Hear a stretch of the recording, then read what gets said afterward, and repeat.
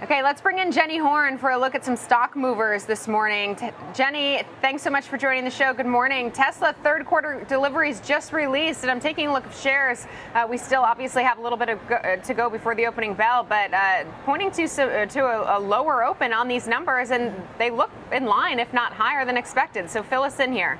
I know, and Caroline, I think this is interesting because it depends on what metrics you look at. Because I was reading the street was expecting around 462,000 deliveries in the third quarter. Some metrics I'm seeing now call for more roughly like 463,000, which then Total deliveries er, uh, did come in around 463, 897,000. So depending on what metric you could look at, you would say that it came just slightly maybe above expectations. But all in all, I mean, that's a beat. Other models delivered in the third quarter totaled just shy of 23,000 versus estimates of around 26,000. Their third third quarter Model 3 and Y deliveries were roughly 440,000 versus estimates of 436,000. Third quarter production, though, this was a pretty major number. Came in around 469, roughly 470,000 vehicles versus estimates of 466,000 roughly.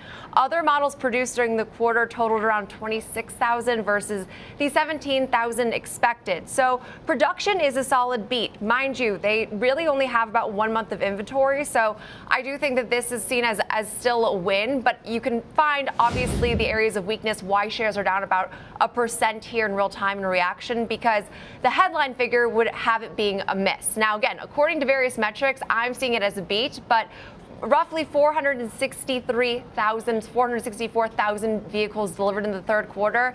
I mean, that's a solid number. And a huge focus for why Tesla has been so volatile this year is a lot of its third quarter deliveries. So I think we are right now paying more attention to this delivery figure than unfortunately the production figure, which was stronger. Yeah, and, and I think it's also important to note that Tesla shares have had this huge run higher really since the beginning of August. So potentially uh, it could be a sign that the, the, delivery number is already priced in. We, of course, have the robo-taxi event on the 10th, though. So uh, should we be looking at that as really the key catalyst and uh, maybe set aside the delivery numbers or what?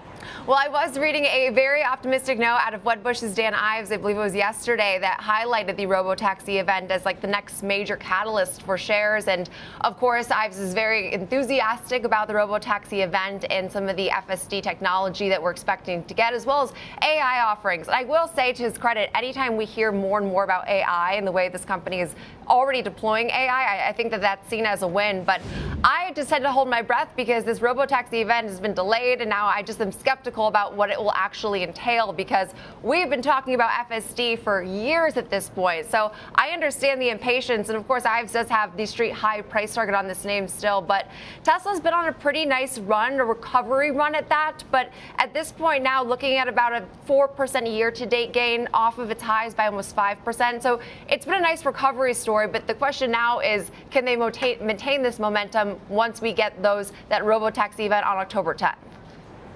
Yeah, because I think a lot of the gains that we've been seeing have really been attributed to uh, optimism about that event. All right, let's switch gears over to Nike, seeing a big sell off after earnings. Uh, failed to impress with this one, pushed out the guidance. Uh, tell us what's weighing on shares. And I, I, knew it wasn't good, frankly, when I saw Nike withdraws its guidance and also postpones its investor event due to the CEO, transition. I mean, that's never exactly the headline story you want as the takeaway from your earnings event, naturally. They did post double digit revenue declines, and management said that a comeback of this scale takes time and a return to growth could start to justify their multiple, which many analysts actually say looks pretty unlikely that we won't see this recovery really until the first half of 2026 at the earliest. But for reference, the guidance issued during their latest earnings report did, or back in June, did call for their fiscal 2025 revenue to be down in the mid single digits, with the first half down in high single digits. The company did say it expects its now fiscal second quarter revenue to be down around 8 to 10% in that range on a year over year basis. Gross margins are seen falling around 150 basis points during the current quarter, while revenue expectations have overall moderated, I think that when you look at each individual component, it speaks to some of this weakness. Like North America sales declined 11% year over year. That was actually largely in line, and direct trends are getting worse as well, so that's not encouraging. They did report a 12% decline in their direct sales and a 20% drop in Nike Digital, which shows that a lot of these competing brands are successfully taking over some of the market share of this space. Nike did sound even more cautious when it gave guidance on some of its specific markets like US and China.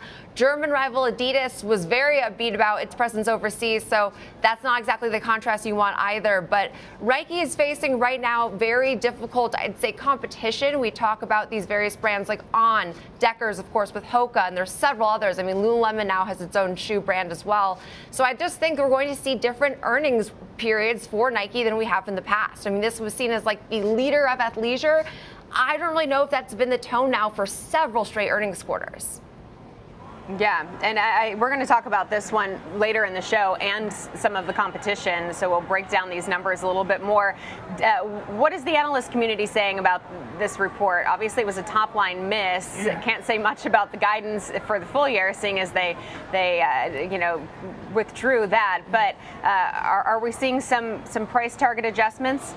Lots of price target adjustments, and I would say not not favorably either. I mean, there's many that are saying that at least they're taking this step in the right direction. Like I was reading a Jefferies note that acknowledged, well, hey, they are at least making progress. It's it's still not really enough. And several other analysts, RBC was one. I mean, B of A did re- maintain its buy but reduced its price target.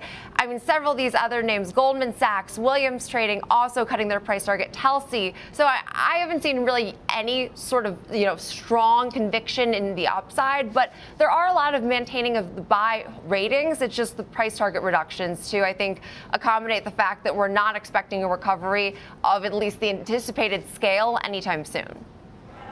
Yeah, analysts very split on this name. There are 20 buys and 20 holds, and then two sells. So not so much bearish, but uh, very much split between uh, buys and holds. Jenny Hor- holds. Jenny Horne, thanks so much. Thanks, Caroline.